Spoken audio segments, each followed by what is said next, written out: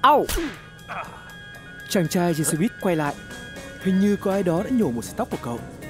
Chàng trai nhìn xung quanh, nhưng cô gái ngồi phía sau cậu thì đang nhìn chăm chăm ra phía cửa sổ. Cô ấy rất trầm lặng và luôn giữ khoảng cách. Cô ấy không nghĩ là do cô ấy làm. Chàng trai quay lại tự hỏi có phải mình phải tưởng tượng ra không? Nên không thể nhìn thấy nụ cười mỉm trên khuôn mặt cô gái. Xe buýt ngừng lại và cô gái bước nhanh lên vỉa hè để về nhà. Cô ấy đi ngang qua mẹ mình mà không chào và đi thẳng vào phòng ngủ của mình, đóng và khóa cửa lại.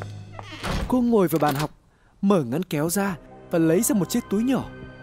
Cô ấy với tay vào túi và lấy ra một mảnh giấy được gấp lại. Chúc mừng bạn đã mua được một con búp bê rình mò chính hãng. Bạn đang yêu ai đó, nhưng họ không dành thời gian trong ngày cho bạn. Bạn ước bạn có thể nghe được những gì họ nói với bạn phải không? Không phải lo nữa, hãy sử dụng sản phẩm tuyệt vời này. Bạn có thể theo dõi mọi hành động, mọi lời nói của họ. Cô gái tưởng tượng mình đang xem một phiên bản nhỏ bé của chàng trai trên xe buýt ngay trên chiếc bàn của cô ấy. Nhìn thấy mọi thứ cậu ta làm, lắng nghe những suy nghĩ và mong muốn thầm kín của cậu ta. Giá như cô ấy hiểu cậu ta nhiều hơn, thì cô ấy sẽ có đủ tự tin để nói chuyện với chàng trai và có thể khiến cậu thích cô nhiều như cô thích cậu vậy. Cô ấy thò tay vào túi và lấy búp bê rình mò ra. Nó trông không có gì đặc biệt. Chỉ là một con búp bê nhỏ được làm từ sự dây màu đỏ được dệt và xoắn lại với nhau. Cô ấy nhìn lại hướng dẫn. Tất cả những gì bạn phải làm là lấy một sợi tóc từ đầu của đối tượng mà bạn mong muốn. Luân nó xuống dưới một sợi dây trên búp bê rình mò của chúng tôi và hãy chờ xem điều gì xảy ra nha. Cô đưa tay vào túi và lấy ra một sợi tóc. Cô ấy đưa sợi tóc lên cao và nhìn vào nó. Nếu điều đó có hiệu quả, thì tất cả những giấc mơ của cô sẽ thành hiện thực. Giống như hướng dẫn đã nói, cô lấy tóc và luồn nó xuống dưới một sợi dây trên cơ thể búp bê. Cô ấy đặt con búp bê xuống bàn và đợi và không có gì xảy ra. Cô ấy xem lại hướng dẫn, lật lại nhưng không có gì khác ngoại trừ một sản phẩm tuyệt vời khác được mang đến cho bạn bởi bla bla bla. Phần còn lại của hướng dẫn về cách làm cho nó hoạt động ở đâu. Tại sao con búp bê không cử động? Đúng là rác rưởi. Cái gì? Quan đã... cái gì vậy? Cô gái nghiêng người lại gần. Con búp bê hình như đang thở. Cô ấy giật mình khi con búp bê quay đầu lại. Có vẻ như đang nhìn thẳng vào cô ấy, hay đúng hơn là nhìn xuyên qua cô ấy. Con tới đây mẹ ơi! Con búp bê hét lên trước khi đứng dậy. Nó bắt đầu bước đi tại chỗ, trông như thể nó đang mở những cánh cửa vô hình và sau đó ngồi xuống một chiếc ghế mà cô ấy không thể nhìn thấy. Có vẻ như nó đang giả vờ ăn tối. Cô gái mở to mắt. Con búp bê cử động. Nó thực sự đang sống. Nó thể hiện những gì chàng trai đang làm ngay bây giờ. Búp bê rình mò đã hoạt động. Cô gái bị cuốn hút khi xem con búp bê nhỏ giúp cô nhìn thấy được cuộc sống của người mình yêu. Cô ấy bỏ bữa tối của mình để có thể nhìn thấy cậu ta ăn. Cô ấy quan sát khi chàng trai ngồi, có thể là đang xem tivi, đi tắm và chuẩn bị ngủ. Tất cả chỉ thông qua cử chỉ của một con búp bê nhỏ nhưng cảm giác như cô ấy đang thực sự ở đó với chàng trai. Cô ấy nhìn con búp bê ngủ trong nhiều giờ trước khi chìm vào giấc ngủ. Đầu cô ấy dựa vào bàn và bên cạnh là chàng trai. Sáng hôm sau, cô ấy đi ngang qua chàng trai.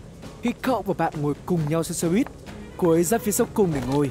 Cô ấy ngồi xuống thật thấp trên ghế để không ai có thể nhìn thấy cô và lấy con búp bê ra đưa nó lên gần tai. Cô ấy lắng nghe cuộc trò chuyện khi chàng trai nói về bộ phim hành động mà cậu đã xem đêm qua. Vũ khí hủy diệt hàng loạt. Chàng trai nói về việc cậu ta thích nó đến nhường nào và đó là bộ phim yêu thích mới của cậu. Điều này thật hoàn hảo, đó chính là những gì cô ấy cần. Ngày hôm sau, ở trường, khi chàng trai đang cất đồ vào tủ, cô gái đến gần. Cô giả vờ đi ngang qua và đánh rơi sách trước mặt cậu. Những cuốn sách rơi vãi trên sàn trước mặt cậu ta. Chàng trai giúp cô nhặt chúng và thấy DVD mà cô đánh rơi. Vũ khí hủy diệt hàng loạt. Cô ấy giải thích rằng cô ấy mang bộ phim yêu thích của mình đến trường để cho một người bạn mượn.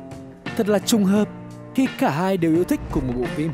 Chàng trai và cô gái gắn bó hơn với nhau qua những bộ phim hành động, khoa học viễn tưởng kinh phí thấp. Bắt đầu dành nhiều thời gian cho nhau hơn.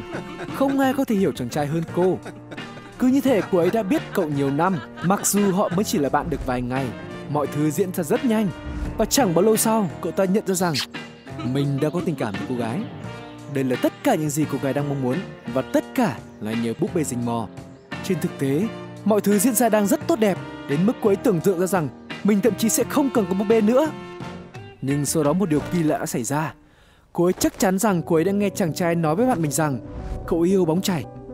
Nhưng khi cô ấy rủ cậu đi xem bóng chảy cùng nhau, thì chàng trai nhìn cô như thể cô ấy bị điên vì cậu ghét bóng chảy. Sau đó mọi thứ dường như thay đổi. Chàng trai vẫn rất tốt khi ở bên nhau. Nhưng bây giờ có vẻ cậu ta như đang nói xấu sau lưng cô ấy. Cô lo lắng rằng cô đã sai trong suốt thời gian qua, rằng cậu ta chỉ đang đùa cợt với cô. Còn búp bê ngu ngốc này không thể biến ước mơ của cô thành sự thật được. Nó đang khiến cuộc đời của cô trở thành một cơn ác mộng. Nhưng khoan đã, chàng trai đang nói chuyện với ai vậy? Cô ấy nghiêng người lại gần để lắng nghe. Cậu ấy đang nói chuyện với một cô gái khác. Lắng nghe một phía của cuộc trò chuyện, cô ấy nghe thấy chàng trai nói với đó rằng tất cả chỉ là một trò đùa. Một trò đùa mà cậu ta đang thực hiện với một cô gái ngu ngốc. Không thể, họ đang hôn nhau ư? Cơn thịnh nộ xuất hiện trên gương mặt cô gái. Cô không thể tin cậu ta đang làm điều này với cô. Trong khi cô là người hoàn hảo nhất đối với cậu ta, cô ném cô búp bê đi. Cô sẽ đối chất với chàng trai và bất cứ ai đi cùng cậu. Cô ấy sẽ dạy cho cả hai người họ một bài học. Trời bắt đầu mưa, khi cô ấy lấy xe đạp ra và bắt đầu đạp xe đến nơi mà cô ấy biết cậu ta đang ở đó, là nơi vốn dĩ là địa điểm đặc biệt của riêng họ. Xe chạy ngang qua trên con đường hẹp, bắn nước vào người cô, nhưng cô không quan tâm. Cuối cùng thì cô cũng đến được địa điểm dã ngoại nơi chàng trai đã đưa cô đi vài ngày trước. Và cô nhìn thấy một chiếc ô tô đang đậu gần đó. Chắc chắn nó là của người phụ nữ quyến rũ độc ác mà cậu ta đang ở cùng. Cô gái nhìn chừng chừng vào chiếc xe. Cô ấy nghiến răng đến mức chúng như thể muốn nứt ra. Bàn tay cô nắm chặt đến mức cô ấy không biết đó là mưa hay máu từ móng tay của cô đâm vào nữa. Cô ấy chỉ cảm thấy một dòng nước chảy xuống lòng bàn tay. Nhưng cô ấy không quan tâm. Cô ấy sẽ cho cả hai thấy điều gì sẽ xảy ra khi làm tan nát trái tim của ai đó. Cô ấy bước về phía chiếc xe và chiếc xe tông vào cô, dù đã phanh gấp. Người lái xe mở cửa ra và lao về phía cô ấy. Đó là một chàng trai. Chàng trai của cô ấy. Hai vợ chồng lớn tuổi bị thủng lốp chạy lại gần để giúp đỡ. Chàng trai ngồi xuống bên cạnh cô và ôm cô vào lòng. Họ có khoảnh khắc cuối cùng để nhìn vào mắt nhau trước khi ánh sáng tắt dần nơi cô. Thật không may cho tất cả những người có liên quan. Cuộc sống của họ sẽ không bao giờ như cũ nữa. Nhưng làm sao họ có thể biết rằng họ là nạn nhân của một cuộc chạm trán với một sinh vật dị thường. Tuy nhỏ nhưng lại cực kỳ nguy hiểm. Một thứ được tổ chức SCP biết đến là SCP-693, búp bê rình mò. SCP-693 là nhiều búp bê hình người, có chiều dài khoảng 18cm. Mỗi con được làm từ một sợi duy nhất có màu đỏ, xanh, vàng hoặc đen với các hạt mã não để làm mắt. Quần áo của chúng sẽ khác nhau về màu sắc và kiểu dáng và dường như không có liên quan đến đặc tính của búp bê. Con búp bê dây sẽ hoạt động chính xác như những gì người ta mong đợi, không có đặc tính dị thường nào cho đến khi chủ nhân thực hiện các bước được ghi trong hướng dẫn luôn đi kèm với SCP-693. Tờ hướng dẫn chúc mừng chủ sở hữu đã mua được búp bê rình mò và giải thích rằng để sử dụng nó phải lấy một sợi tóc của người khác để cắm vào dây của nó. Lúc đó con búp bê sẽ đồng bộ với người đó. Sau đó, con búp bê sẽ trở nên sống động, bắt chước hành động chủ nhân của sợi tóc trong thời gian thực, bao gồm cả lời nói của họ. Con búp bê sẽ miêu tả một cách hoàn hảo hành động của cá nhân đó trong 9 ngày. Sau thời điểm đó, nó sẽ không miêu tả chính xác nữa. Cách mà SCP-693 bắt đầu thay đổi là lời nói và hành động phụ thuộc vào màu của nó. Nhưng trong mọi trường hợp, mục tiêu cuối cùng của nó là đẩy chủ nhân hiện tại của búp bê đến cái chết. SCP-693 thực hiện điều này bằng cách cung cấp thông tin không chính xác cho chủ sở hữu. Những con búp bê làm bằng sợi dây màu đỏ cố gắng đẩy chủ nhân của chúng vào những cơn thịnh nộ ngày càng bạo lực. Những con búp bê làm bằng sợi dây màu xanh cố gắng làm chủ nhân của chúng chán nản, trầm cảm và khiến họ tự làm hại bản thân. Những con búp bê màu vàng khiến chủ nhân của chúng thực hiện những hành vi yêu đương bạo lực. Và con búp bê màu đen khiến chủ nhân của chúng tham gia vào các hoạt động và tình huống nguy hiểm. Điều thú vị là SCP-693 sẽ không chỉ đồng bộ với người sống mà cả người đã khuất. Khi tóc của một người chết được đặt vào trong vòng dây, búp bê rình mò sẽ trở nên sống động giống như khi người đó còn sống. Nhưng thay vì diễn tả lời nói và cử động của người đó, con búp bê sẽ tự xưng là người đã khuất và đề nghị đóng vai trò như một vật hướng dẫn tâm linh cho chủ nhân. Nhưng cũng giống như với một người sống, vào thời điểm 9 ngày, SCP-693 sẽ trở nên không đáng tin và sẽ cố gắng dẫn dắt chủ nhân đi theo con đường dẫn đến cái chết của họ. Sau khi một cá thể SCP-693 thành công trong việc gây ra cái chết cho chủ nhân của nó, một cá thể búp bê mới sẽ xuất hiện trên cơ thể của chủ sở hữu. Một số các búp bê này đã được thu hồi từ các nạn nhân của búp bê rình mò và hiện tại tổ chức sở hữu 7 cá thể màu đỏ, 10 cá thể màu xanh, 5 cá thể màu vàng và một cá thể màu đen. Tất cả các cá thể SCP-693 do tổ chức quản lý ban đầu được phân loại là an toàn và được lưu giữ trong tủ khóa 12CK. Nhưng sau các sự kiện của sự cố 693E, phân loại đó đã được xem xét lại. Trong sự cố này, một nhà nghiên cứu đã trả lại một con búp bê rình mò vào tủ chiếu của nó. Nhưng trong một lần, họ đã quên lấy phần tóc được đặt trong con búp bê. Đây là sai sót đi ngược lại với các quy tắc tổ chức. Khi chiếc tủ được mở lần tiếp theo, những con búp bê được quan sát đã, đã di chuyển, chúng xếp thành một vòng tròn, xung quanh con búp bê vẫn còn đồng bộ. đã bị đóng đinh ngược trên vách ngăn của hộc tủ. Không biết những con búp bê đã lấy đinh ở đâu. Sau sự cố này, một chiếc máy quay đã được đặt bên trong tủ đựng đồ và kết quả thật đáng kinh ngạc. Hóa ra là các cá thể SCP-693 sẽ hoạt động khi chúng không được quan sát, ngay cả khi chúng không được đồng bộ.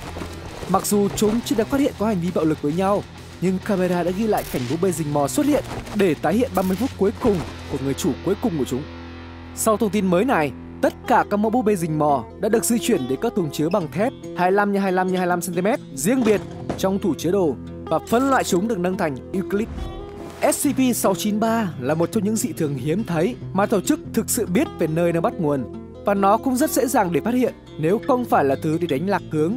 Các hướng dẫn xuất hiện với từng cá thể SCP-693 nói khá rõ ràng về nguồn gốc của chúng.